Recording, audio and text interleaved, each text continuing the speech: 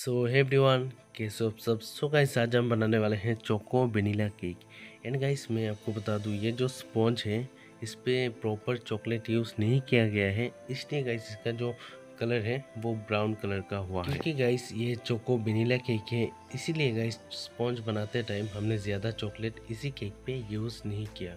लेकिन गाइस इस केक के अंदर हम सिरप की जगह पे लाइट चोको ट्रफुल इस तरीके से हम यूज़ करेंगे, ताकि गैस थोड़ा चॉकलेट टेस्ट भी मिले एंड वनीला टेस्ट भी मिले। वनीला टेस्ट के लिए हमने इस केक के अंदर वाइट क्रीम यूज़ किया है। इसमें कोई भी चॉकलेट ट्रफुल हमने यूज़ नहीं किया। लेकिन गैस अक्सर जब हम चॉकलेट केक बनाते हैं, उसका जो क्रीम होता है, वो भी चॉकलेट ट्रफुल से हम मिक्स करके उसके बाद हम दे देते हैं।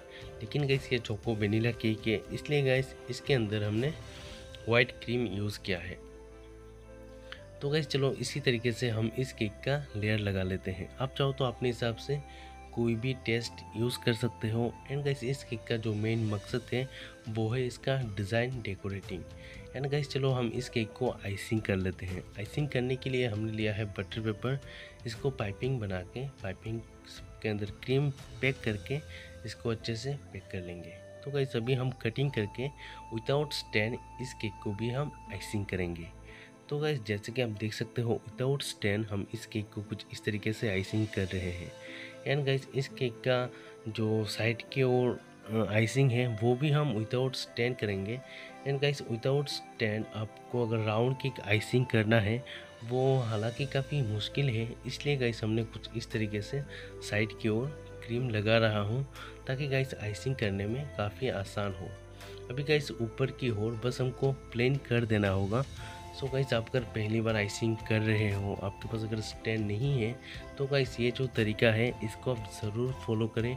ये जो आइसिंग करने का ट्रिक है, ये बहुत ज़्यादा आसान है, क्योंकि गाइस अगर आप आइसिंग नहीं आता, अगर आप आइसिंग करते हो स्टैंड पे या विदाउट स्टैंड तो गाइस ये जो क्रीम का मतलब फिनिशिंग है, वो लाना काफ़ी मुश्किल हो जाता है, क्योंकि गाइस कहीं पे क्रीम ज़्यादा, कहीं पे कम होता है।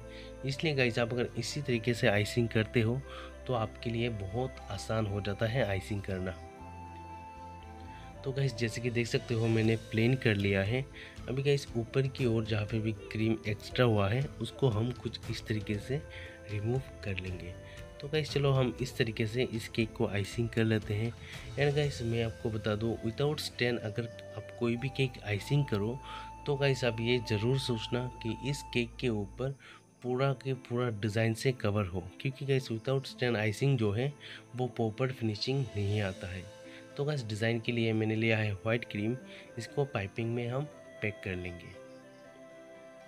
जैसे कि पाइपिंग में पैक कर लेने के बाद, हमको इसको प्लेन कट करना होगा इस तरीके से। उसके बाद गैस इस केक के ऊपर कुछ इस तरीके से हम ड्रॉप कर देंगे। जैसे कि गैस आप देख सकते हो, ये जो केक है, इसको मैंने विदाउट स्टैंड आइसिंग किया है। इसीलिए गाइस इस केक के हर एक जगह पे हम डिज़ाइन से कवर कर देंगे। क्योंकि गाइस ये जो केक है, ये प्रॉपर फिनिशिंग नहीं हुआ है, जैसे कि स्टैंड पे होता है। तो गाइस इसलिए हम इस केक के अंदर प्रॉपर डिज़ाइन से कवर कर देंगे।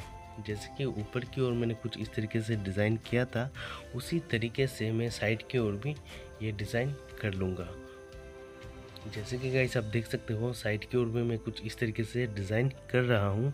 तो गाइस इसी तरीके से मैं डिज़ाइन करके पूरे केक को कवर कर लूँगा ताकि गाइस ये समझ में ना आए इसका जो आइसिंग हम्म, था वो आन फिनिशिंग रहा हो।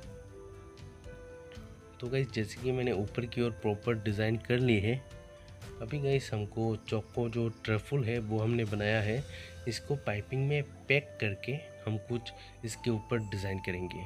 तो गाइस जैसे कि ऊपर की ओर मेरा पूरा डिज़ाइन कंप्लीट हो गया है अभी गाइस चोको ट्रफल को हम पाइपिंग में पैक कर लेते हैं।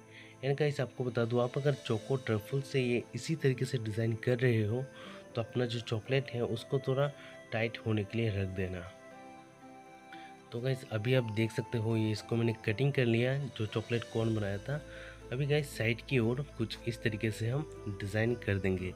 एंड गाइस ये जो डिज़ाइन है, ये आप कह सकते हो जेब्रा डिज़ाइन क्योंकि गाइस ये वाइट एंड ब्लैक चॉकलेट से डिज़ाइन है। तो गाइज़ इसका जो लुक है, वो जेब्रा से काफ़ी मिलता है। इसलिए गाइज़ आप इसको कह सकते हो, ये जेब्रा डिज़ाइन ही है। तो गाइस इसी तरीके से हम आसान तरीके से इस केक की साइड की ओर चौको जो ट्रफल है, इससे हम कवर कर देंगे। एंड गाइस आप चाहो तो यहाँ पे कोई भी जेल भी यूज़ कर सकते हो अपने हिसाब से।